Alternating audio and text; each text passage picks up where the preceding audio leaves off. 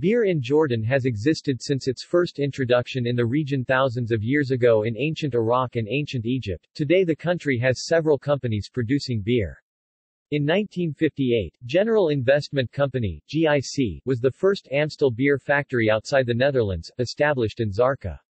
In 1964, GIC introduced Petra the oldest beer of Jordan and available in three different varieties, lager, weizen and amber.